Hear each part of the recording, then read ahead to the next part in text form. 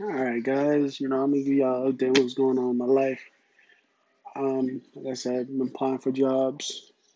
So if I don't, you know, post as much as I want to, it's that's the reason right there. So I miss you guys, and I'll see you soon as I start posting it. And also, and this is actually this is pointed to certain people I'm coming for, because when I hop back on fighters, Mr. Levi and Rafa and other people that say, "Oh, I'm trash at fighters" and all this other stuff, just know I'm coming for you. Like I really mean this.